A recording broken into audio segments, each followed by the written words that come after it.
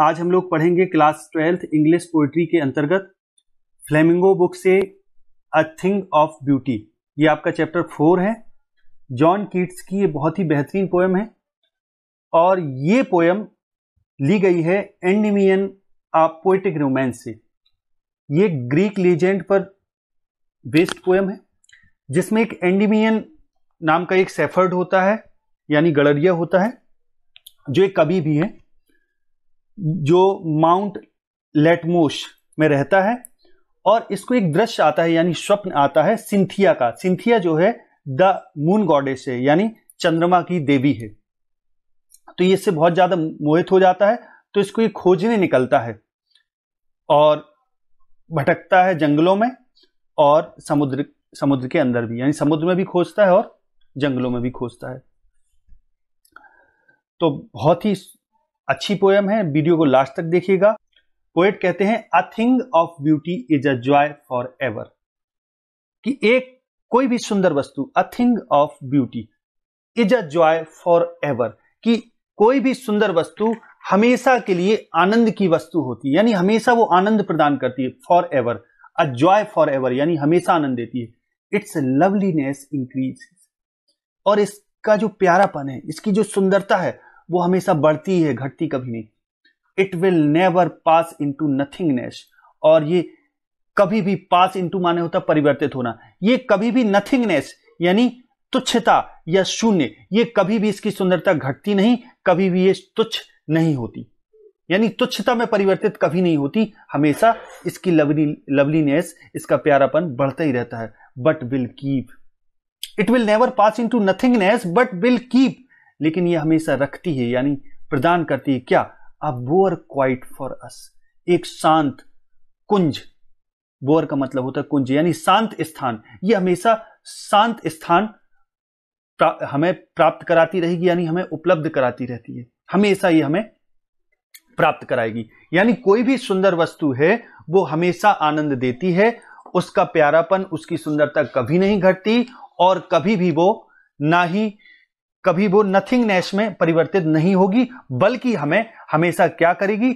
हमेशा हमें ये बोअर प्रदान करेगी, शांत स्थान प्रदान करेगी एंड अ स्लीप और हमें एक स्लीप प्रदान करेगी फुल ऑफ़ स्वीट ड्रीम्स जो मधुर स्वप्नों से भरी हो।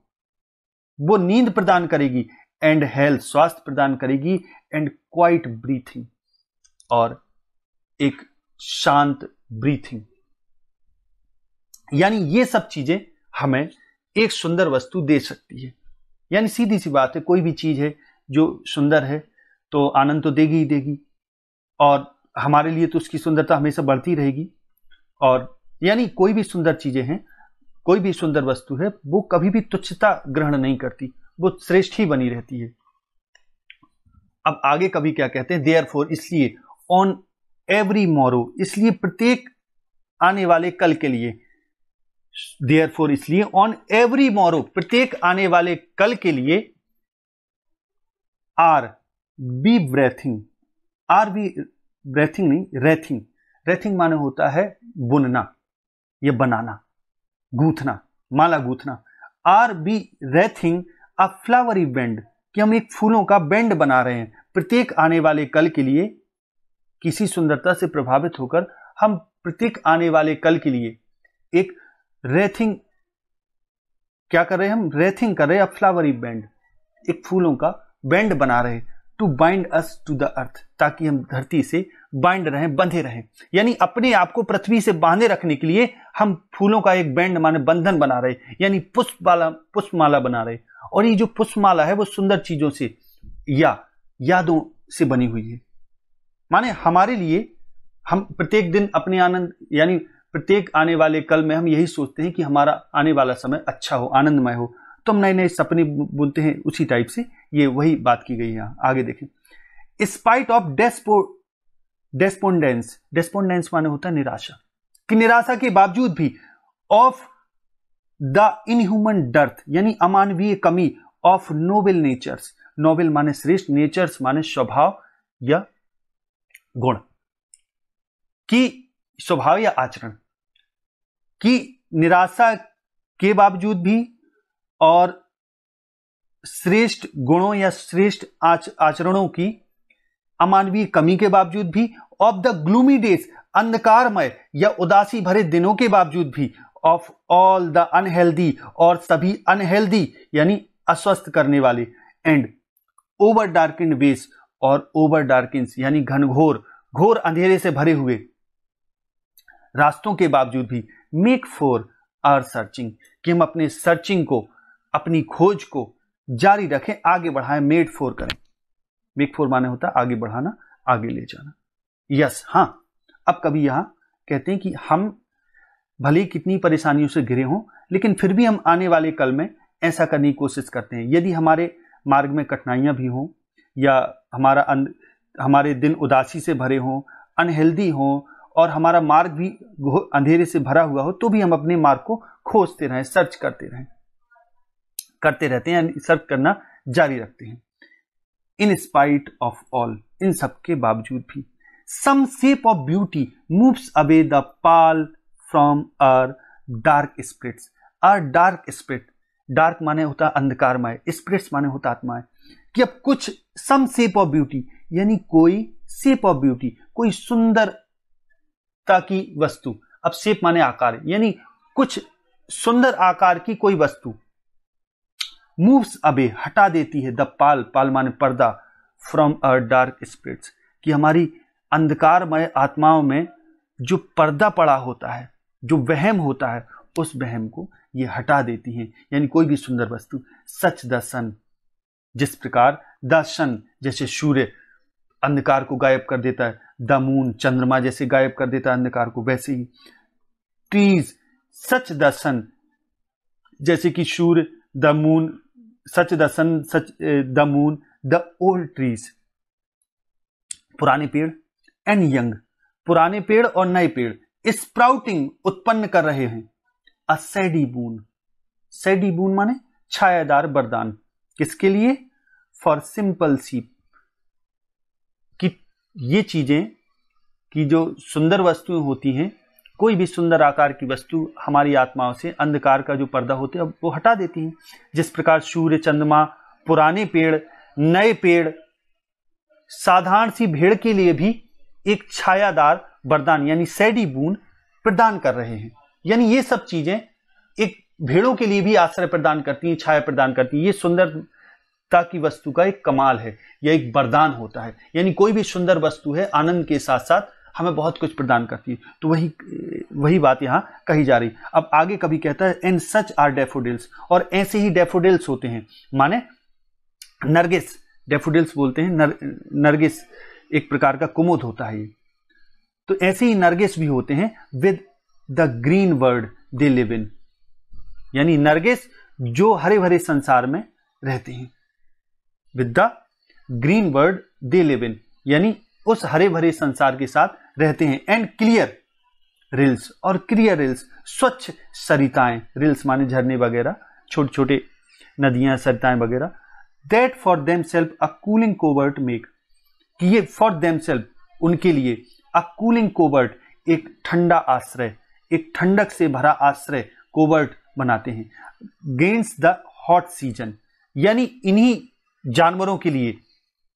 डेफोडिल्स भी, अब ये संसार जो है डेफोडिल से भरा अब यहाँ डेफोडिल्स का अर्थ वैसे तो नरगिस है, लेकिन आप चाहें तो उन सारे सुंदर फूलों से भी ले सकते हैं। और क्लियर रिल्स और जो झरने वगैरह हैं, जो छोटी छोटी सरताएँ वगैरह हैं, ये सब एक आश्रय प्रदान करती हैं इन सब जानवरों को। अगेंस्ट द हॉट सीज़न की गर्मी के, तपते मौसम के विरुद्ध। आगे देखें। The mid forest brake mid forest brake brake माने झाड़ी। अब मध्य जंगल, यानी ऐसे ही, अब कभी आगे कह रहा है, ऐसे ही बीच जंगल की जो झाड़ियाँ हैं, मिड फॉरेस्ट ब्रेक है। जो बीच जंगल में जो झाड़ी होती है, जो रिच विथ भरी होती है स्प्रिंकलिंग स्प्रिंकलिंग माने छित्राव या फैलाव of fair musk rose. Fair माने सुंदर मस्क रोज माने कस्तूरी गुलाब से ब्लूम्स जो खिले होते हैं। यानी खिले हुए कस्तूरी गुलाब सुंदर गुलाब के फूलों से छितरी हुई एक जंगली झाड़ी, जो ठीक जंगल के बीच में है। यानी जंगल के बीच में जो झाड़ियाँ होती हैं, जिनमें स्वच्छ कस्तूरी गुलाब के फूल खिले होते हैं और पूरे फैलाव में होते हैं। फैलाव में होने का मतलब है समृद्धि से भरे होते हैं, यानी पूर्ण रूप से पूरी झाड़ी में लदे होते हैं। तो वे भी एक टाइप से सुंदरता की वस्तु है और हमें आनंद ही प्रदान करते हैं। आगे देखें। एंड सच टू और ऐसे ही is the grandeur of the dooms, grandeur माने वैभव, और ऐसे ही वैभव ऑफ़ द डूम्स डूम्स माने होता है प्रलय का दिन, ऐसे ही प्रलय के दिनों का वैभव। वी हैव इमेजिन हमने कल्पना की for the mighty dead mighty dead माने शक्तिशाली मृत। अब जो हमारे पराक्रमी, शक्तिशाली जो मृत पूर्वज हो गए, उनके लिए हमने भी ऐसे ही ग्रेंडियर माने वैभव की कल्पना की है अंधकार के दिनों में, डूम्स के दिनों में, यानी प्रलय के दिनों में, हमने भी सोचा है कि जो हमारे पूर्वज मर के चले गए, उनको भी वैभव की प्राप्ति होगी। All lovely tales that we have heard वो सारी प्यारी कहानियाँ जो हमने सुनी हैं या पढ़ी हैं, कि वो सारी प्यारी कहानियाँ जो हमने सुनी हैं पढ़ी हैं। अब यहाँ ये कहानियों का सुनने पढ़ने की बात क्यों ऑथर ने की यहाँ पोइट ने इसलिए की कि ज़रूरी नहीं कोई चीज़ जो, जिसको हम देखें, उससे ही आनंद प्राप्त हो। आनंद तो हमें कहानियों से ही प्राप्त हो सकता है, उनको सुनने या पढ़ने से भी। An endless fountain of immortal drink an endless fountain एक अनंत फब्बारा, कि जो कभी खत्म नहीं होता। ऑफ़ इमोटल ड्रिंक इमोटल माने अमर ड्रिंक माने पेय, यानी अमृत। एक अमर पेय, यानी अमृत एक अमृत का अमर अनंत फब्बारा endless fountain pouring unto us from heaven's brink brink माने किनारा, कि हेवन ब्रिंक यानी स्वर्ग के किनारे से लगातार गिर रहा है, हमारे ऊपर क्या गिर रहा है? एक इमोटल ड्रिंक यानी अमर पेय का एक फब्बारा निरंतर हमारे ऊपर गिर रहा है, यानी वो हमें निरंतर अपने में डुबो रहा है। An endless fountain of immortal drink pouring unto us unto माने ऊपर। Us from the heaven city कि अमर पेय का, यानी अमृत का एक अनंत फव्वारा स्वर्ग के किनारे पर से हमें डुबोता रहता है, यानी हम, हमारे ऊपर वो गिरता रहता है।